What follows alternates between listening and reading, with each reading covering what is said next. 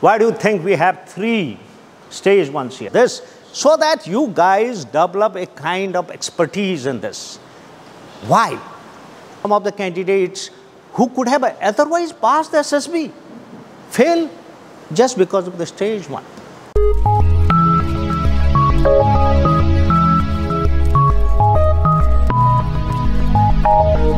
You can now get a free SSB course under the guidance of Major General Bhakuni at SSB Sure Shot Academy if you attend any of our written courses for NDA, CDS or AFCAT. Attend 4 to 5 lectures daily and prepare with study material, mentor support, weekly feedback, mock tests and guidance by officers in our lush green 28-acre military campus.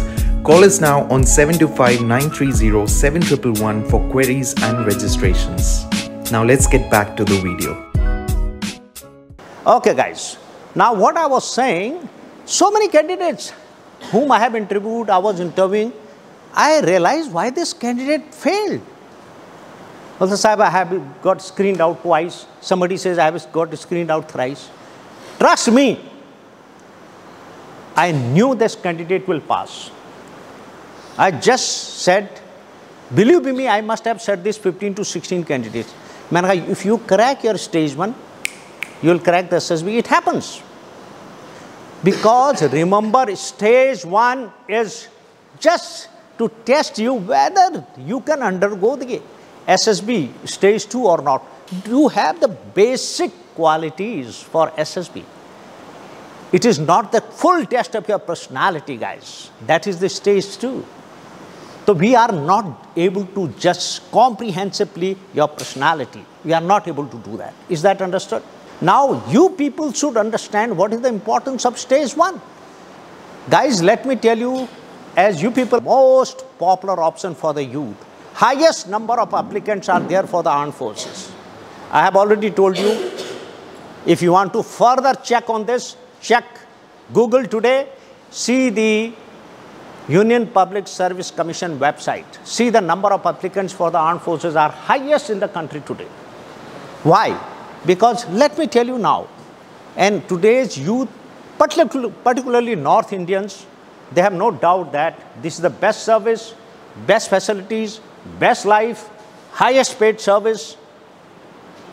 You know, if you get a life in the armed forces, I think this journey of this particular life is made. You can't expect a better life than the armed forces. Whether you join Air Force, whether you join Navy, whether you join Army. It is such a wonderful service, guys. It's actually a dream job. The South Indians particularly still not very convinced about it. They still go for Infosys, various these uh, uh, corporate jobs or government jobs, but not realizing that armed forces beats all of them hollow, thoroughly. See, the kind, even if you get through Infosys or even TCS today, in spite of being from a good college, ask your colleagues, some of you may be in the corporates. The pay may be maximum 60,000, 70,000. But the moment you become an officer at the age of 20, 21, 22, your pay is nearly 1 lakh 40,000. And facilities are far more. If you just count the facilities, it is three and a half times than your pay. So you virtually cost to the government 5 to 6 lakh. Imagine, can you get a job like that? So for that job, you got to sacrifice, guys. You got to make yourself capable. Now coming to the topic proper. And let me tell you guys, and the repeaters will understand this. Why people fail in SSB and particularly in stage one is just because they are not prepared. They are not prepared. And these guys who are sitting in front of me will do far better. Their selection rate is going to be, I can give you in writing, is going to be far more, far better than the remaining candidates. Why? Because you, the confidence, you know what is the SSB looking for. You know what is required in the stage one, guys. And if you know, then only you can prepare for it. If you do not know what is expected of you, and some of you are so much, you know, so much careless or casual about SSB, that they do not know how the tests are conducted there. This is the stage of your preparation. You can imagine whether you will pass or not. And one dialogue I always say that, guys, if you clear yourself from your heart that I am capable, I have the requisite qualities of an officer, I have that confidence, I have that power of expression, I have those OLQs. Guys, that is the first step of passing. You will pass. Your chances of passing are very, very high. Okay? Now, coming to the stage one, guys, this stage one was started in 1998. And since then, the number of failures are increasing, increasing day by day. Why it is increasing day by day? Because the number of people are increasing. Armed forces vacancies remains more or less same, maybe a little bit increase. Vacancies remain the same. The number of people increasing every day. Now, what happens and the limitation of the SSB is every board has got a limited handling capacity. A particular board at a time can handle 40 to 50 candidates.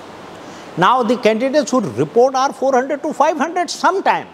Usually it is 150 to 200. Imagine if 400 candidates come, we have to select just 40 of them, 360 will fail. 360 in the stage one. Imagine the tough competition, guys. So you have to be one of those 40 who gets screened in. Are you getting me? And out of that, the selection rate is further down. You know that in SSB only 3.6% candidates will pass. So it re really requires a bit of hard work. You don't have to be get worried about it. Okay? Let me tell you, any one of you, if you have the determination, if you have the passion and love for the armed forces, you guys can make it. Each one of you can make it, I can assure you this. I simply give my example, if I can make it, who is from a village background, who has always studied in a government college and did his graduation in a privately. You know about me, privately I did, after joining as a Jawan in the army. So it is not that difficult. Only thing you have to groom yourself, you have to believe yourself, you have to develop those officer like qualities and nobody can fail you thereafter. I can assure you this. So don't consider yourself, you know, that others will make it, you lack this, that. You can improve every quality. You just need four months. Four months preparation, you need thorough. But you got to have passion, love, determination for the armed forces. Is that understood? Yes, sir. Okay, guys. Now coming back again to the topic. Today will be a proper stage one as it happens in the SSB because we will judge you exactly as per the SSB standard. We'll start from chest number 17 like this. Okay? The moment I sit down in the chair, chest number 17 will start off. He will narrate his story, guys. When you narrate your story, caution to you, narrate it confidently, precisely, to the point, and with good body language. Why I am saying this? Because stage one, if you want to clear stage one, there are four mantras of stage one. You can call it four secrets, you can call it four mantras. What are these four mantras? These four mantras are the first one, guys. Like the first thing you will do, your OIR test will be done, like we have already done for the OIR test for the older candidates. Your OIR test will be done and you got to be minimum OIR 3. OIR 1, 2, 3. If you get OIR 1, very good. OIR 2, reasonably good. OIR 3, possible. But 4 and 5 are failed. You know that. Okay? And the second thing which you just did, you wrote a story, guys. You saw the picture. And your story has to be relevant to the picture we will teach you again. The old course is well aware of it, the new course will learn gradually. What is the meaning of writing a relevant story based on that picture? Because you people write a prepared or made up story which is not required. Are you getting me? Yes, sir. The second is writing a relevant story. The third, which is a very important is narration. Now you people are setting. The third and fourth point are the most important. which will make sure you will crack the SSB. Will at least crack the stage one. Narrate your story confidently, precisely, to the point with good body language. Is that understood? With good body language. This is the narration. And the last point, again, which is very important, third and fourth points are the most important. Fourth point is your discussion. The moment chest number, the last chest number finishes, the discussion will automatically start. Okay? And in discussion, you must participate minimum two to three times, minimum two to three times. And when you talk, you better talk sense, not that you speak one liners. Now, story. Okay? Or some people may not have finished their story, they would have written three, four lines, which happens in certain cases. So you can say, Sir, can I bring a change? You should take permission and then. Whenever you want to bring a change or add or delete something from your story, you must take permission. Is that understood? This is what the SSB will tell you. Later you can ask me a question on this. And guys, remember, after that, in the SSB, the group goes, the moment they go, we just sit for two minutes and we decide your fate, whether you are fit for stage one or not. Is that understood? We three of us who sit here, psychologist, GTO and interviewing officer, we just say, choice number one, we'll give our grading. Yes, no or doubtful. Yes, no or doubtful. If you get three doubtfuls, you pass. Even if you get two doubtfuls, they are called D's. You pass. Okay, if you get even one yes, you pass. So we'll just say D, D, N. D, N, N. So we quickly decide your fate because when you narrate and when you discuss, we'll be ticking your name and then circling your name. Ticking your name if your narration is good. Circling your name if you have done good in discussion means you are passed. At least you are a D grading.